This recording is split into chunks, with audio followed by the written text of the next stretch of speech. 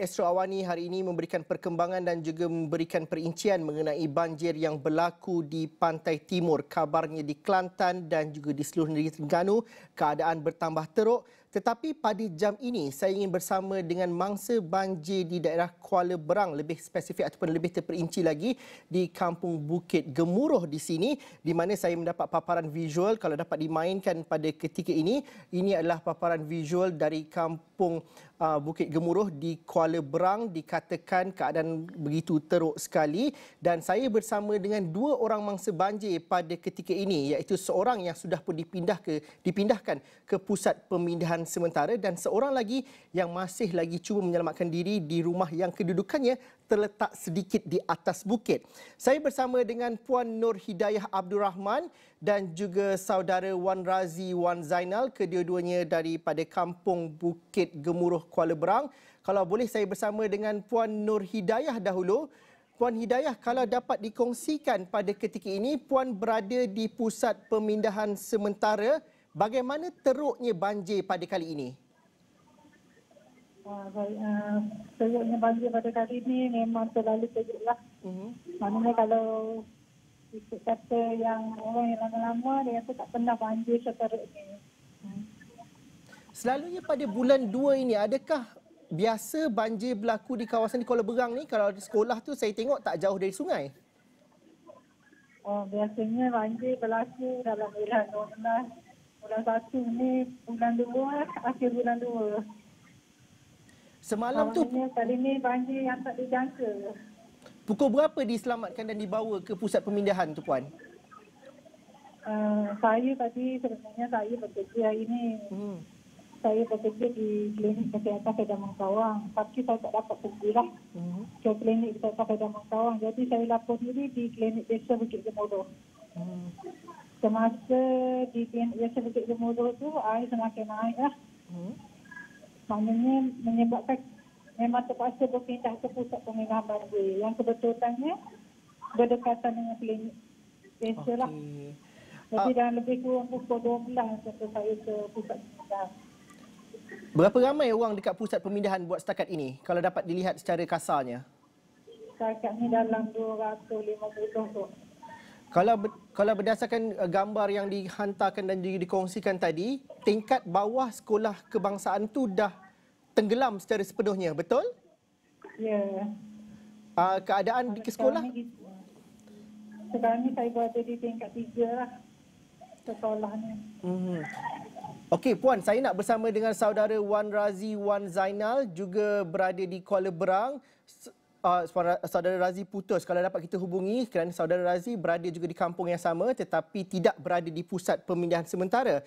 Puan Hidayah, kalau kita dapat fahami pada ketika ini berapa pusat pemindahan yang ada di kampung itu? Berapa kampung, berapa ramai penduduk kampung yang terlibat yang berada di pusat pemindahan sementara di Sekolah Kebangsaan Bukit Gemuruh itu? Masa ni tadi dalam 250 tapi ni ada lagi yang uh, on the way datang ke sini lah sebab kampung di sekitar ni memang semua tenggelam. Hmm. Sehingga yang berbukit je. Mana yang selamat tu berada di atas bukit je. Dan memang hujan masih lagi lebat pada ketika ini? Uh, buat macam ni hujan dah berhenti lah. Okey. Tapi air bertahan ni lah. Bagaimana dengan pihak berkuasa menyelamatkan mangsa banjir dan juga membawa mereka ke PPS? Bagaimana keadaan di PPS sekarang? Adakah sudah diselenggara dengan baik? buat masa ni uh, setakat ni bantuan tu tadi ada yang uh, dia bagi contoh dengan kita lah uh, untuk bantuan makanan tu belum sampai lagi ni. Mhm. Okey, saudara Wan Razi, kalau kita sudah dapatkan, Assalamualaikum saudara Wan Razi, juga berada di kampung Bukit Gemuruh itu, tapi berasih masih lagi berada di rumah. Kenapa sukar untuk dipindahkan ke PPS? Mungkin dapat diceritakan keadaannya. Halo, Assalamualaikum. Eh. Okey, untuk pengetahuan, okey.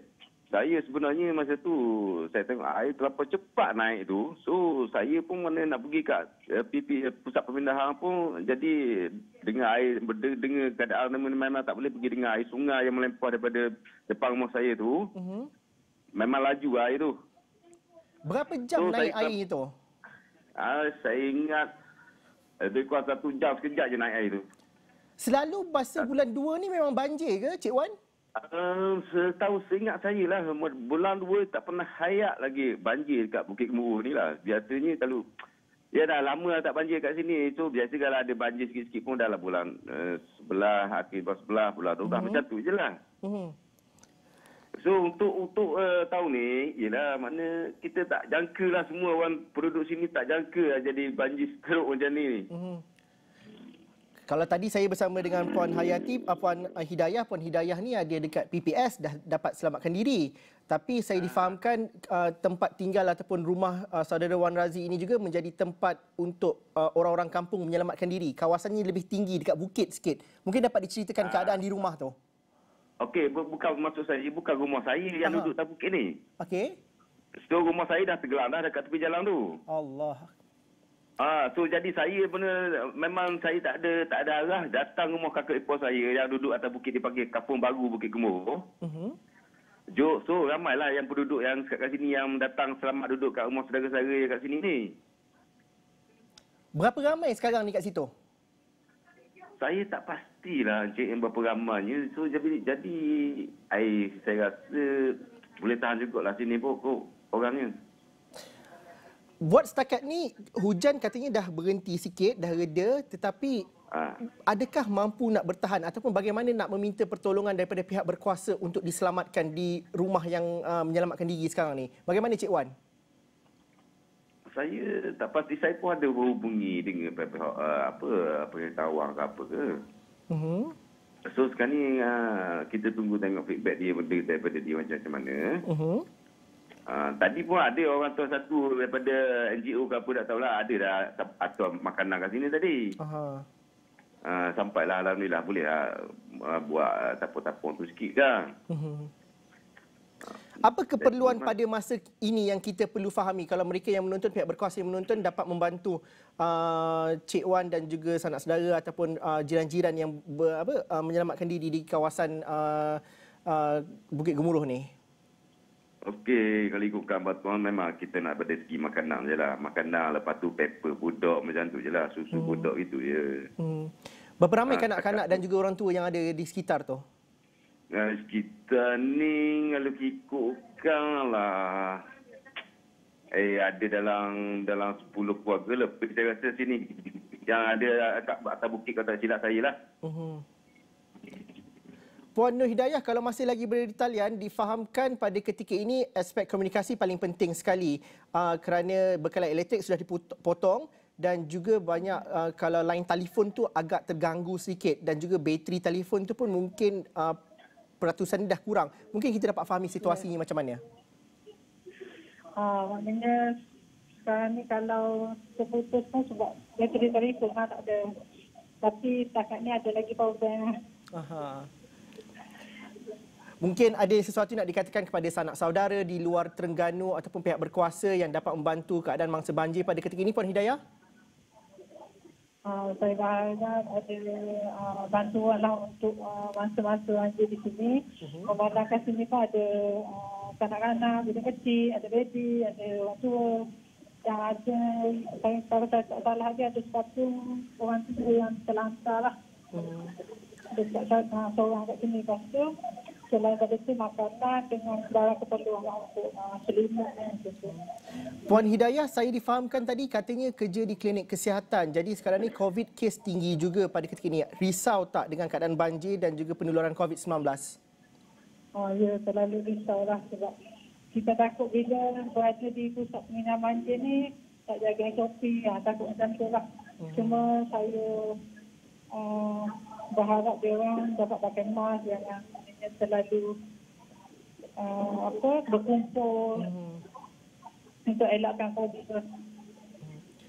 Okey, harapnya bertabah. Terima kasih Puan Hidayah kerana berkongsikan cerita. Uh, saudara Wan Razi, kalau masih lagi berada di talian, apa yang mahu dikatakan yeah. kepada mereka, anak sanak saudara keluarga yang mungkin menonton pada ketika ini, yang berada di luar Terengganu untuk uh, menceritakan keadaan sebenar dan juga apa harapan untuk dibantu pada uh, selepas ini?